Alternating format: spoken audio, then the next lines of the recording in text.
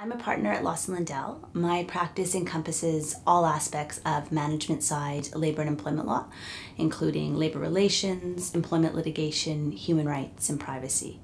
I chose labor and employment law for a number of reasons. First, as an articling student, the lawyers in Lawson's labor group provided fantastic mentorship and opportunities for me to play a very meaningful role in files and have direct um, involvement with clients.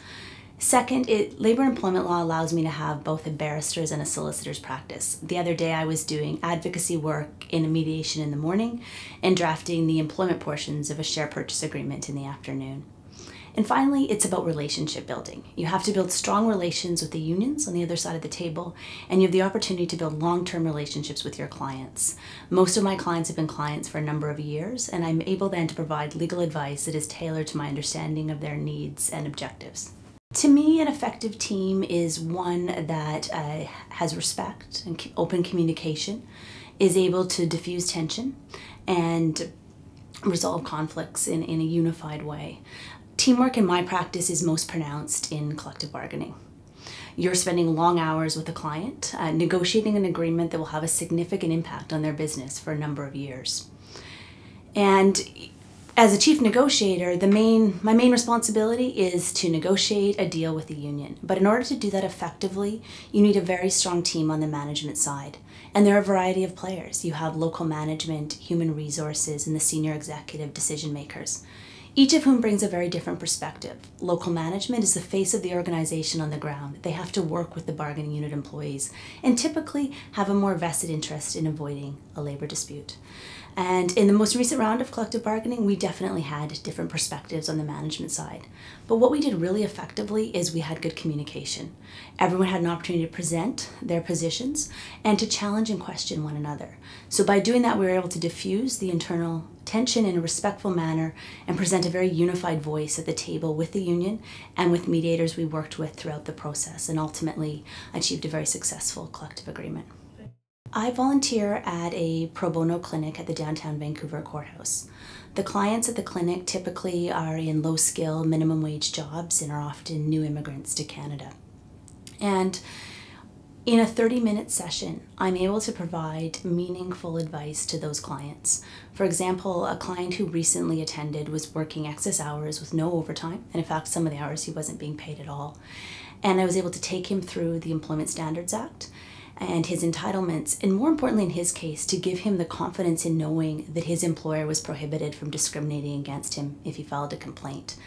And I, I think is what I take away from these sessions is that as lawyers, sometimes we just take for granted the protections the law affords us, and that we do have a, an obligation to share that knowledge, especially for those who don't have the legal means to afford legal services to ensure that they have access to justice.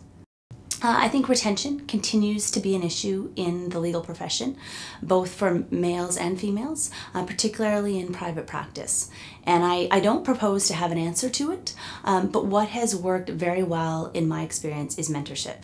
At Lawson Lundell, we have both formal and informal mentorship programs, both internally in our firm and in the legal community generally. That I actively participate as a mentor to younger lawyers and also as a mentee. And there are times when we're struggling um, with a difficult problem in our practice or trying to balance um, our legal careers and our families. And having a mentor that you can call up to walk through options, to get advice, and often it's to someone to listen to you, to take you out for a coffee, and maintaining that connection both in your firm or in the legal legal community. And I've benefited from that as a mentee, but also as a mentor because there's something very rewarding about working with and assisting younger lawyers that makes you feel connected to and want to maintain a part of that legal community.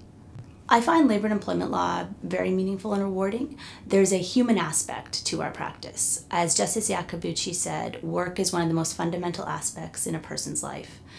And I have the opportunity to advise clients in ways that help them create productive and positive workplaces.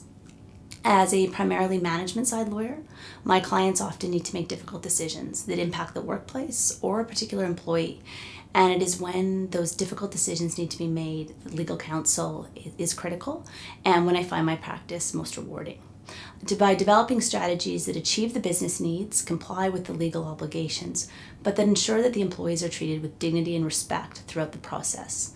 The employer is typically able to save costs and maintain overall workplace morale in what are can be very difficult times.